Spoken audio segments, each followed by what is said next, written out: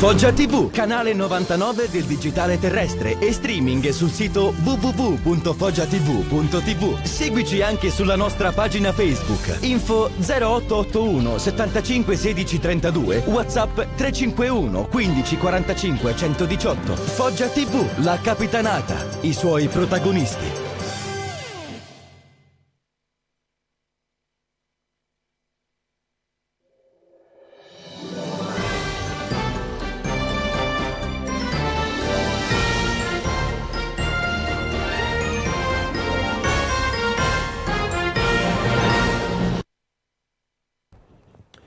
Buon fine settimana a voi tutti che ci ascoltate sul 99. Grazie per l'ascolto e la visione del nostro telegiornale. Titoli di apertura di oggi, sabato 9 ottobre dell'anno 2021.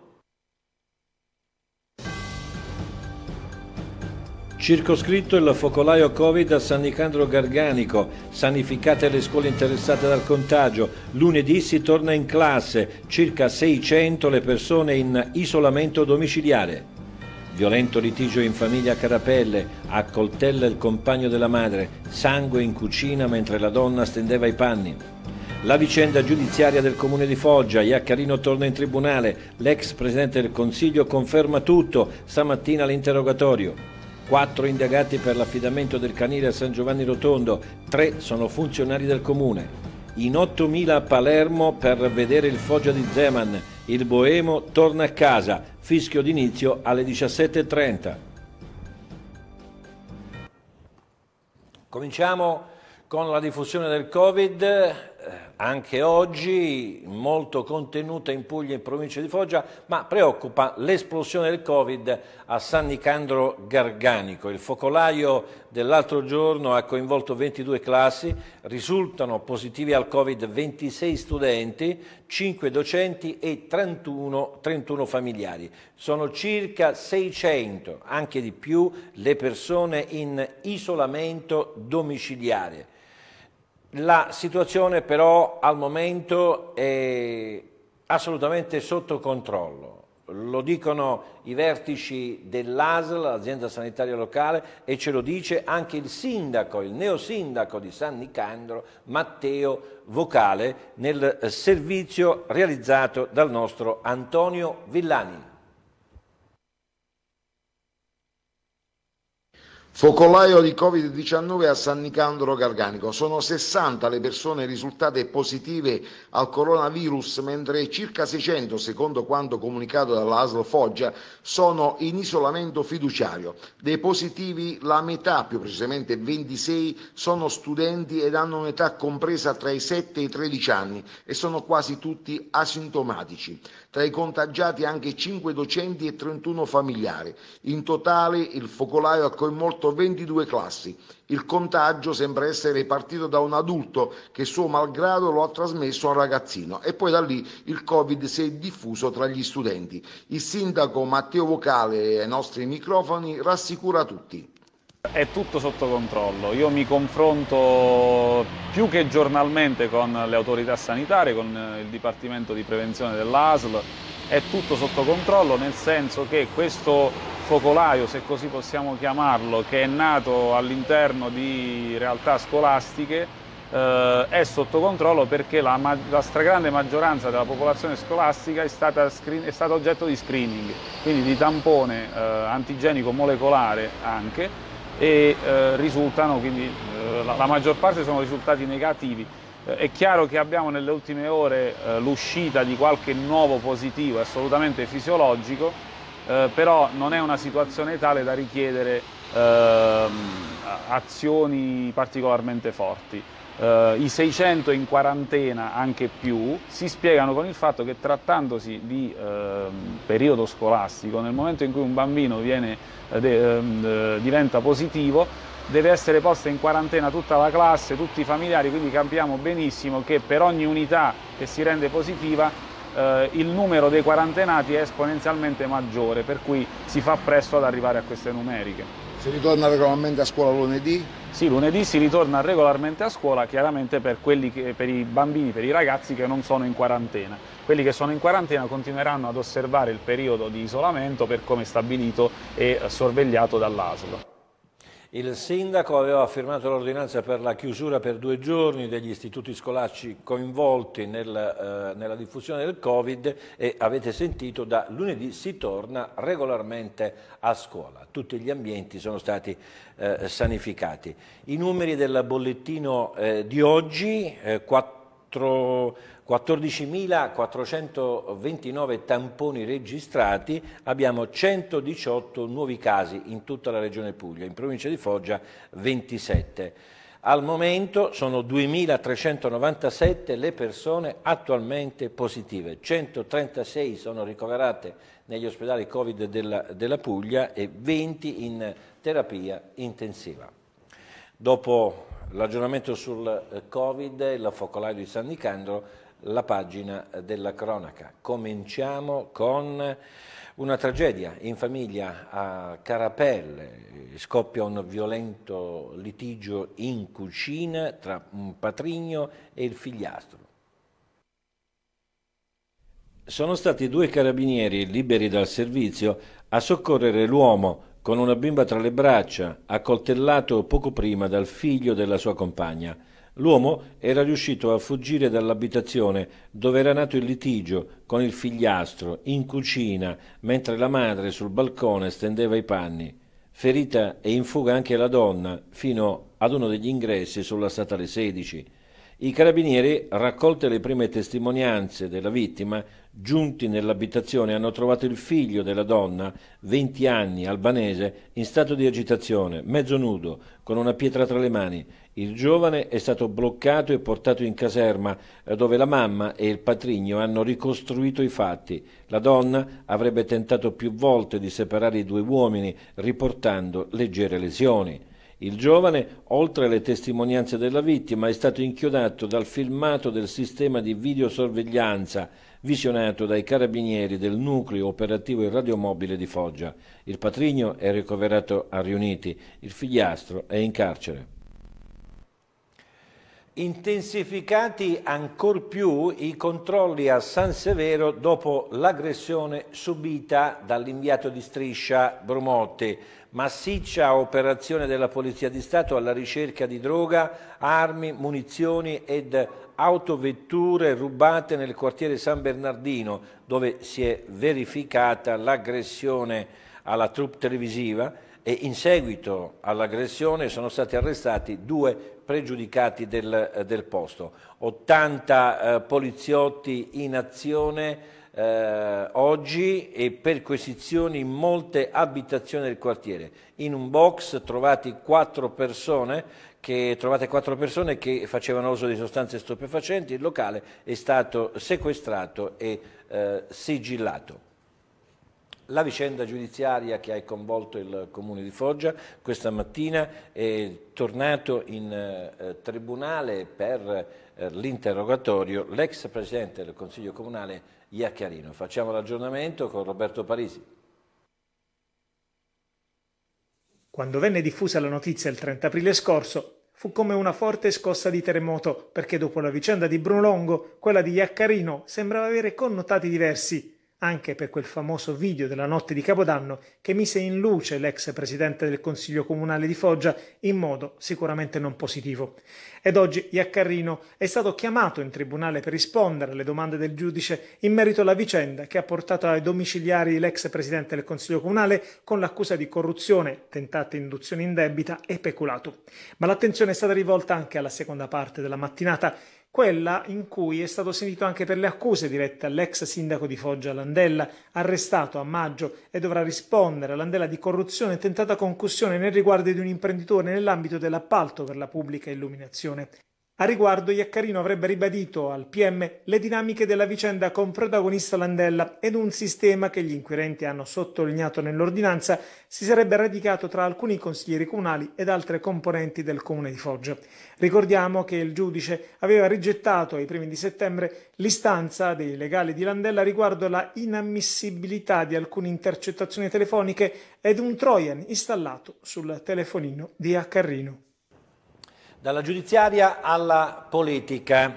Dopo il primo turno delle amministrative continua la campagna elettorale a Cerignola, c'è ballottaggio tra Bonito e Metta e eh, la competizione per il primo turno a Manfredonia. A Manfredonia per eleggere il nuovo sindaco si vota il 7 novembre. Raffaele Piemontese vicepresidente della giunta regionale, spinge i candidati della coalizione di centrosinistra. Sentiamolo.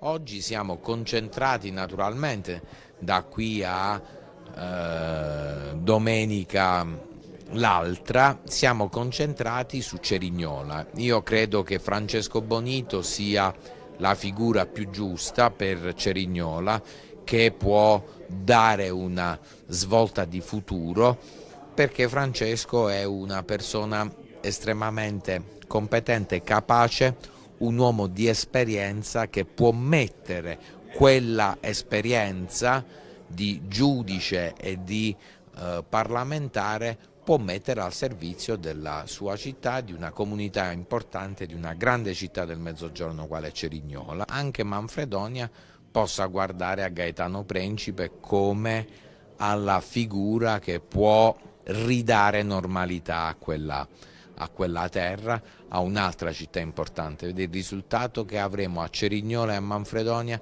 sarà estremamente importante per le sorti della provincia di Foggia e noi da amministratori regionali, io, eh, il Presidente Emiliano, è evidente che siamo interessati a fare in modo che ci sia sempre il massimo della sinergia istituzionale per cambiare le condizioni di vita dei cittadini. La competizione elettorale del primo turno in programma il 7 novembre a eh, Manfredonia e soprattutto il ballottaggio in programma il 17 ottobre a Cerignola saranno i temi del eh, prossimo numero di Senza Maschera è il primo numero del nuovo eh, ciclo, in onda eh, giovedì prossimo 14 eh, ottobre. Avremo naturalmente ospiti in studio per l'analisi del momento politico. Adesso andiamo a San Giovanni Rotondo perché ci sono sviluppi nella inchiesta per l'affidamento del canile. Quattro persone indagate. Dopo aver messo a verbale le informazioni rilevate da persone informate sui fatti, a seguito delle indagini riportate dalla Guardia di Finanza di Manfredonia nel territorio del comune di San Giovanni Rotondo, indagati quattro dipendenti del comune citato, a quanto comunicato dai Baschi Verdi, i quattro soggetti avrebbero turbato con mezzi fraudolenti il regolare svolgimento delle gare di appalto. Per quanto riguarda la custodia dei cani abbandonati, compiendo un reato contro la pubblica amministrazione per una mancata e corretta gestione, non rispettando le esigenze primarie idonee allo stato di accoglienza degli animali tre i funzionari pubblici indagati per violazione dell'articolo 353 del codice penale, mentre una quarta persona ha violato l'articolo 727 del codice penale, ossia l'abbandono di animali, violazioni di procedure amministrative per l'affidamento del canile e il reato di cui quattro indagati dovranno ora rispondere, oltre che con gli arresti e le sanzioni, anche in via disciplinare, riguardo la loro posizione occupazionale all'interno del comune. La nostra solita tappa nel comparto dell'agricoltura e qui abbiamo buone notizie, eh, continuano a sorridere i produttori di grano duro perché il grano nel corso dell'ultima quotazione, cioè mercoledì scorso, ha raggiunto i 52 euro al quintale ed è praticamente un, un record. E eh, possono sorridere anche eh, i produttori della filiera del, del, latte, perché anche qui abbiamo una svolta. L'assessore regionale Pentasuglia ha raggiunto l'accordo con tutte le associazioni di categoria e ha firmato il protocollo d'intesa. Sentiamo Pentasuglia. Ma non è un primo passo, questo è un passo storico per il mondo della produzione. Finalmente con la sottoscrizione da parte di tutti c'è una responsabilizzazione. Intanto mai avvenuta una sottoscrizione del genere perché mette insieme il mondo allevatoriale che non va sotto il costo di produzione e gioca la partita della qualità che in Puglia si sta facendo da anni adesso miglioriamo per valorizzarla e puntare su questo, ma c'è un'assunzione di responsabilità collettiva da parte anche dei trasformatori che hanno bisogno di latte di qualità e quindi possono puntare sul latte pugliese, anche perché non basta quello che produciamo, e quindi c'è una corresponsabilizzazione per valorizzarlo, tutelare le nostre eh, masserie con i sistemi allevatoriali e eh, puntare a questo discorso che è molto etico, molto profondo, eh, che mi auguro venga recepito dai pugliesi perché stiano attenti a comprare prodotto di qualità con la filiera pugliese perché così potranno determinare un'attenzione al nostro ecosistema, al nostro patrimonio. Mi permetto di aggiungere, che è un dato importante, che coloro i quali aderiscono e hanno aderito a questa iniziativa eh, avranno il supporto della Regione in tutte le attività promozionali di valorizzazione e di tutela nel mondo della nostra produzione, quindi del nostro latte, che è una materia prima. Sport, calcio, la trasferta del Foggia a Palermo per il tecnico Zdenek Zeman è un ritorno a casa. Lo ha confermato questa mattina nel corso della conferenza stampa. Ecco il passo di Zeman. Palermo è la mia seconda città dopo Praga, quindi anche in società ho lavorato per nove anni, vuol dire più che a Foggia. Ho ricordi positivi con i ragazzi. Visto che eh, sono uno che ha la casa ancora a Palermo e che in estate sono spesso lì per me è un ritorno che non mi sembra nemmeno da nemico, da avversario, è un ritorno alla casa. Io ho visto qualche partita loro, ultima con, con Juve Stabia, è una partita equilibrata, come è stata la nostra con Juve Stabia. Poi io spero che abbiamo fatto qualche passetto avanti rispetto a prima e spero che basta per giocarsi il risultato. Le notizie del momento rossonero, tutte legate alla trasferta del Foggia a Palermo nel corso della rubrica sportiva con la conduzione eh, di eh, Fabio Lattuchella. Tra poco, adesso rivediamo i titoli delle principali notizie che abbiamo trasmesso. Circoscritto il focolaio Covid a San Nicandro Garganico, sanificate le scuole interessate dal contagio, lunedì si torna in classe, circa 600 le persone in isolamento domiciliare. Violento litigio in famiglia Carapelle, accoltella il compagno della madre, sangue in cucina mentre la donna stendeva i panni. La vicenda giudiziaria del comune di Foggia, Iaccarino torna in tribunale, l'ex presidente del consiglio conferma tutto, stamattina all'interrogatorio. Quattro indagati per l'affidamento del canile a San Giovanni Rotondo, tre sono funzionari del comune. In 8.000 a Palermo per vedere il Foggia di Zeman, il Boemo torna a casa, fischio d'inizio alle 17.30. Grazie per l'ascolto e buona visione con la nostra programmazione.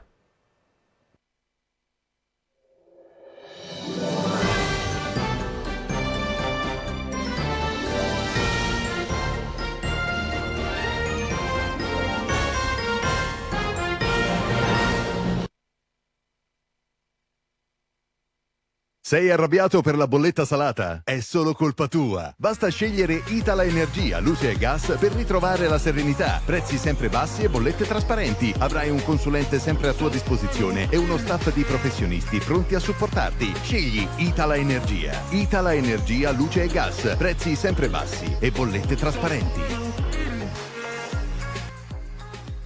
Itala Energia, per ampliamento della rete commerciale, cerca agenti e affiliati per le zone libere della Puglia. Gli interessati possono chiamare al 391 11 40 675.